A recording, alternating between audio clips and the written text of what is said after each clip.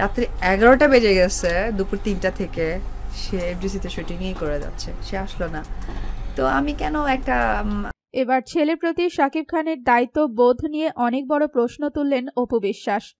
একবার জয়কে শাকিব খানের বাসায় দিয়ে শুটিংয়ে যান অপু বিশ্বাস। শাকিব খান অপু বিশ্বাসকে বলেন তার ফ্যামিলির লোকজন তাও আমি ভাবলাম যে ঠিক আছে আমার কাজের লোকেরা আছে। তো আমি একটু পর পর করে কাজের লোকদের সাথে কন্ট্রাক্ট করছিলাম যে এই আচ্ছা। আসছে ওর বাবা আসছে ওর বাবা আসছে। তিনি নিজে জয়কে অপুর বাসায় দিয়ে আসবেন।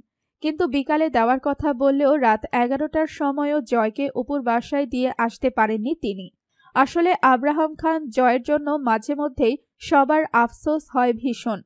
তার বাবা বাংলাদেশের সবচেয়ে জনপ্রিয় নায়ক। তার মাও একটা সময় নাম্বার ওয়ান নায়িকা ছিলেন। মিডিয়ার ফোকাস তাদের ওপর সারাক্ষণ থাকে। আব্রাহাম হিসু করলে সেটাও খবর হয়ে যায়। এখন হয়তো আব্রাহাম কিছু বোঝে না। তাকে বা তার মা বাবাকে ঘিরে হওয়া আলোচনাগুলো ওর মাথায় ঢোকার কথা নয় এখন। কিন্তু এই ছেলেটা একদিন বড় হবে, সবকিছু বুঝতে শিখবে। সমাজে দশজনের সঙ্গে চলবে বন্ধু বান্ধব হবে ওর। তখন এই তিতকুটে সত্য আর বিচ্ছিরি অতীতগুলো এসে বারবার কি ওকে আঘাত করবে না?